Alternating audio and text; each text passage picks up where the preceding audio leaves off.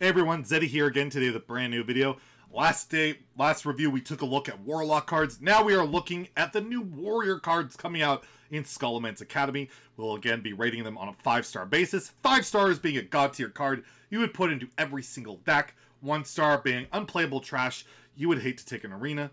So let's get going, and again, we'll be reviewing these in Standard and Wild so you get the perspective of what should be good in either format. So we first will start off with Athletic Studies, a one mana spell. Discover a Rush Minion.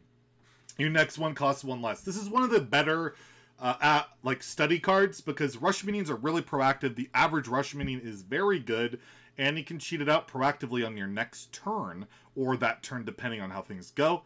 I think this card could see some play, fringe play as a one of maybe. I don't know. It's just a good value card, and again, Rush Minions are just so good in the game. So I'm gonna give it a three in standard. I think you definitely consider it in wild.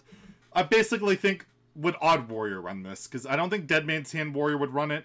No aggressive deck would run this. It's like would Odd Warrior run it, and I don't think Odd Warrior would.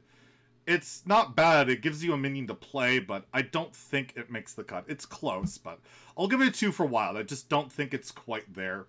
Next, we have In Formation. A 2-mana spell. Add 2 random taunt minions to your hand. Yeah, uh, this is one of the worst cards in the set. Two random taunt minions. I mean, the average taunt minion sucks. And you have no idea what the mana cost is going to be. It could be anything from a Tirion to a Silverback Patriarch. And, you know, it's just the variance is too high. It's just not worth two mana draw two random cards. Is It's bad. One in standard. And even in Wild, where you have the, the, the taunt quest, I still don't think you put it in there. Because, again, you can get just unplayable crap, but it has more potential in Wild because of that quest. So I'll give it a 2 in Wild for that. Maybe you throw it in there. Maybe. Next, we have Cutting Class. 5 mana spell. Draw 2 cards. Cost 1 less per attack of your weapon. Uh, especially with the, the nerf to Corsair cache recently, the attack on weapons in uh, Warrior is not super high. And I don't think you want to be running like an upgrade buff, weapon buff deck at all in Warrior in standard or wild, so I don't see this card making the cut whatsoever in either format. It just seems really bad. You have Battle Rage. It's like 2 mana draw 4 to 5. Don't think you're running Cutting Class, so I'm going to give this a 1 in both standard and wild. Then we have Commencement 7 mana spell. Summon a minion from your deck, give it Taunt and Divine Shield. So in standard, we have a bit of big support. You have like Dimensional Ripper, but that's 10 mana and not much else. And I know Dexter loves his big warrior and he likes to play it, but it's not good.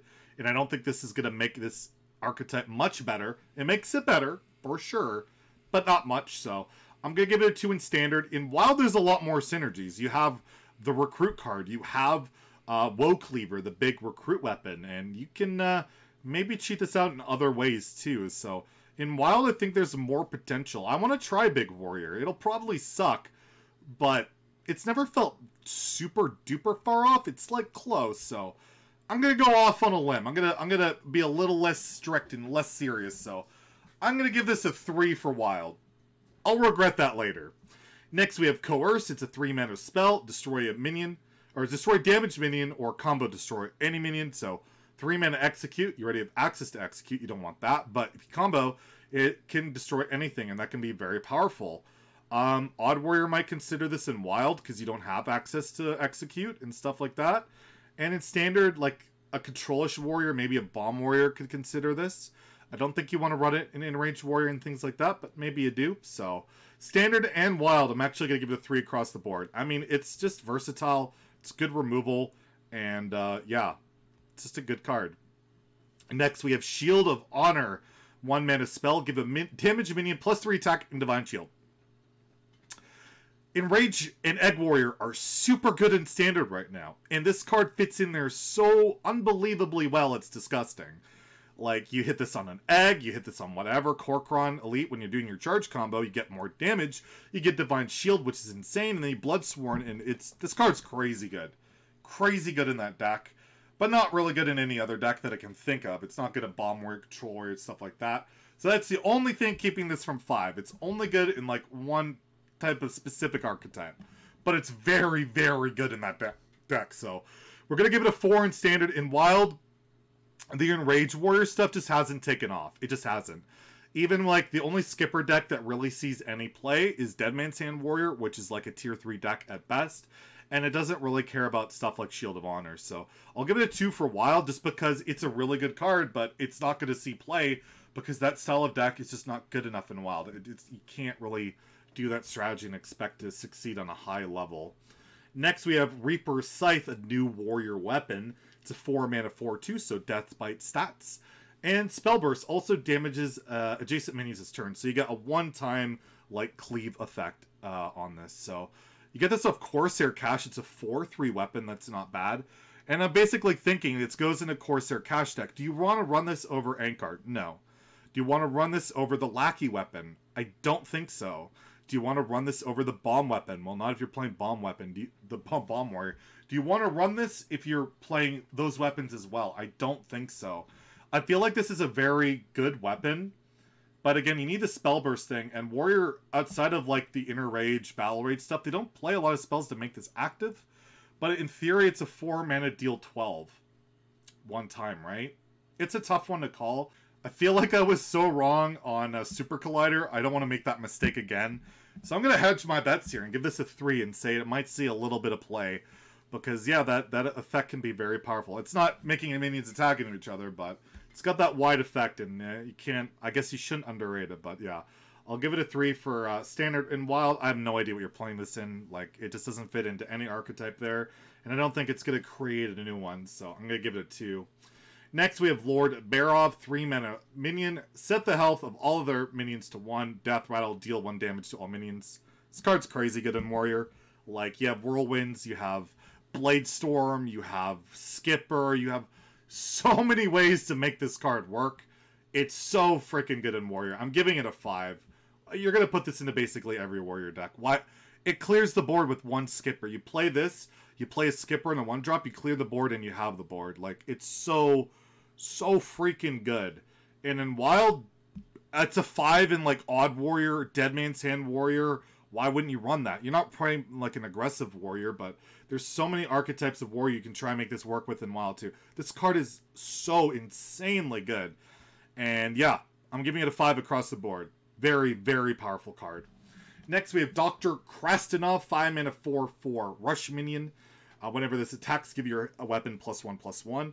So in standard, we've seen Greenskin pop up in lists to buff weapons, but other than that, not a lot of like upgrades are really used outside of Corsair Cache, of course, but that's more for the tutor. Of course, the upgrade's nice.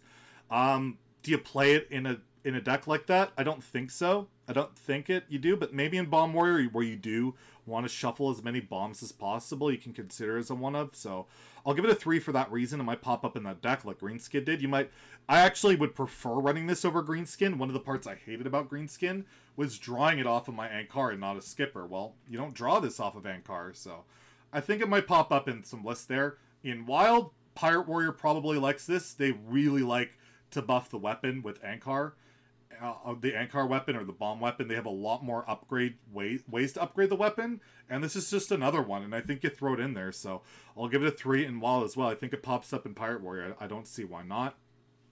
Next, we have Playmaker. It's a 3 mana 4 3 minion. After you play a Rush minion, summon a copy with 1 health remaining, so you can play this with like Restless Mummy, and you get basically a 3 2 and a 3 1, and both will have Reborn, so it's like 12 attack across two bodies for if you combo with that, or you combo with like say the prime and you add an extra prime into your deck, that could be very powerful.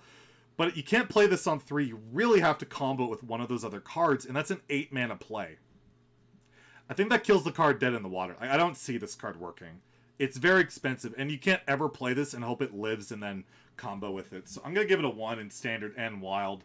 It's so greedy. It's so expensive, and you don't need that what deck do you need that value in? I, I just don't see it. I don't. Next, we have Ceremonial Maul. It's a 3 mana 2 2 weapon. Spellburst, summon a student with taunt and stats equal to the spell's cost. I thought this card was bad in Paladin. It's even worse in Warrior. like, you have way better weapons in Warrior, and you don't care about this effect almost at all. I'm giving it 1 in Standard and Wild. I can't imagine this card ever sees play in a Warrior deck, ever. Next, we have Steel Dancer, 4 mana 4, 4 minion. Battlecry, summon a random minion with, uh, with cost equal to your weapon's attack. If Corsair Cache hadn't been nerfed, I think this card would have a realistic play. pro- pro- probability being seen play. You cash on two, you play your weapon on three, which would be three attack, and you play Steel Dancer on four, and that's pretty good. You get a four, you four, four, and a three drop. That's really pretty good. Um, now you have two attack weapons on three, and this is not this is not good. And you can play like the uh, Wrenchcalibur on four. That's a three drop too. That's not good enough because it doesn't curve well. And you have Reaper Scythe, right? But again, that doesn't curve well. So I think this card's dead in the Water and Warrior, in Standard and Wild. I'm giving it a one. I don't see this ever seeing play, unless they get a cheap big weapon at some point. But I don't see that happening. Next, we have Troublemaker. 8 mana, 6 8 minion. At the end of your turn, summon two three three 3 3 Ruffians that attack random enemies. What the hell is this card? It's a 6 mana, 12. What, 12, 14? With snowballing recurring effects. Like, if this survives, the 3 3s will come back out and attack again. And that can hit anything. This card just seems ridiculous. This is like an arena killer. You get this in arena, oh my god, you win. Um, but in standard, I don't know what deck runs it, but the card is so ridiculously good. I don't see how it doesn't pop like in a bomb warrior deck. Why not?